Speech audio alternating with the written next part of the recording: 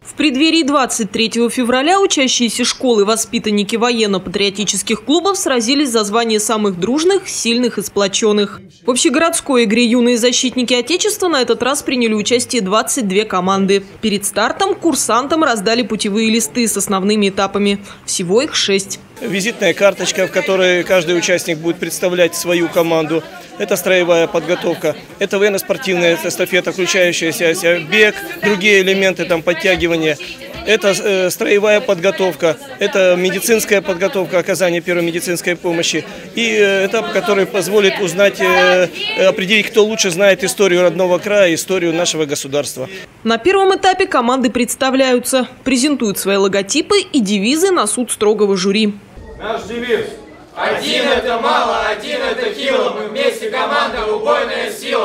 На этапе смотра строевой подготовки судья следит за сплоченностью команды, внешним видом юных бойцов и дисциплиной в строю. За любой недочет – минус балл. Далее два теоретических этапа. Сначала 10 вопросов теста на знание военной истории России. Важно не только ответить правильно, но и уложиться в 5 минут. На этапе оказания медпомощи два устных вопроса и одно практическое задание.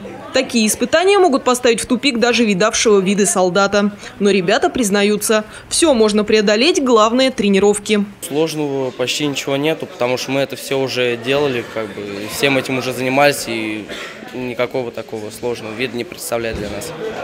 Ну, мы готовились сразу же после того, как нам об этом сообщили, и тренировались очень упорно.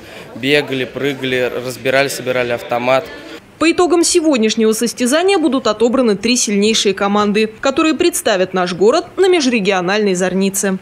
Наталья Романова, Сергей Коликов, РТВ Иванова.